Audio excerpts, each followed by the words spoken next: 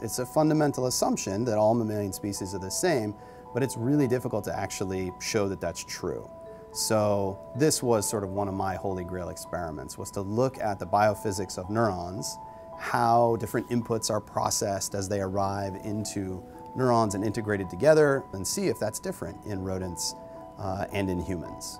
The challenge is getting the tissue from neurosurgeons, and those neurosurgeons have to be research oriented. They have to want to collaborate. And uh, we did that with Sid Cash uh, over at MGH.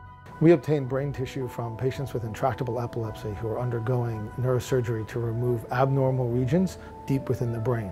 Uh, to do that, we had to remove overlying cortex, that area of the brain that's thought to be responsible for higher order cognitive processing. We then took that piece of tissue, placed it into specialized artificial cerebrospinal fluid, and handed it off to Mark's group. Uh, it's usually Lou and Derek. Basically are running down the halls of MGH Hospital and out the door and into a waiting car and then they jump out of the door and then run it up to the lab where we're waiting. We take it out, put it into a new uh, solution that's oxygenated and cold, and then uh, we have to take this out and orient it and figure out how are we going to set it up on the slicer physically so that we can get these thin sheets of the circuit to then go on the microscope that we can then use to do experiments. Any misstep at this stage basically ends the entire case. So I just put one of the brain slices on our microscope over here. And under the microscope, there's this sort of moment in which we bring the brain slice into focus, and sometimes there's just nothing there. It's just it's just dead. But other times, there's a neuron there, there's another one here. It's just filled with live, fat, happy, juicy looking neurons. So I'm gonna be here for 20 hours or something. Everyone's very excited because it means, you know, two days of data. So the technique that we use to record the electrical activity from these neurons uh, is called patch clamping. The key principle is you take uh, a piece of glass tubing and you pull it into a little tiny hollow needle, and then you fill it with an electrolyte solution. So this glass needle becomes an electrode. And I'm going to fill the pipette with some dye. And the glass has a really fascinating property in that it adheres very, very tightly to the cell membrane. This is one of the challenges to doing these experiments is you got to make one of these pipettes, you got to fill it with the electrolyte solution, you got to put it on the rig, you got to find a neuron that you're interested in that looks good, that's healthy, then you gotta get your electrode down in there, you know, into the solution next to the neuron. It's kind of like playing a neuroscience video game. So now I'm gonna put some positive pressure because this is connected to the pipette. You then push the pipette into the neuron and then you release the pressure.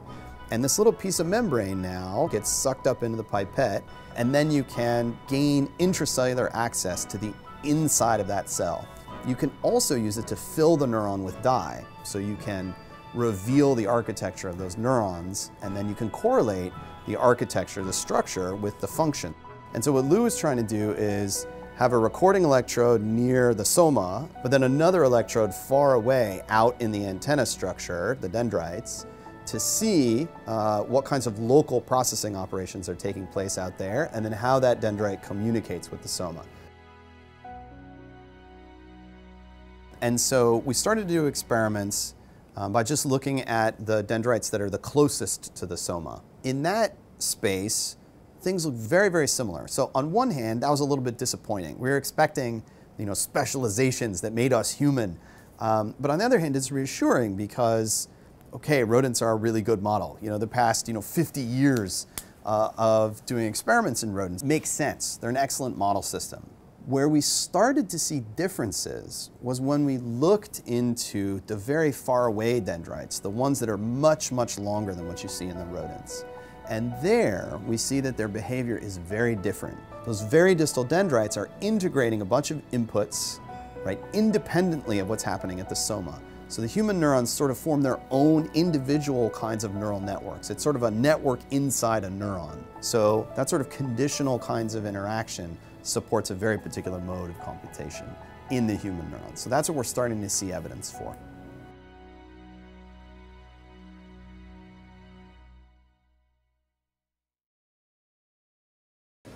Uh, Red Bull and coffee?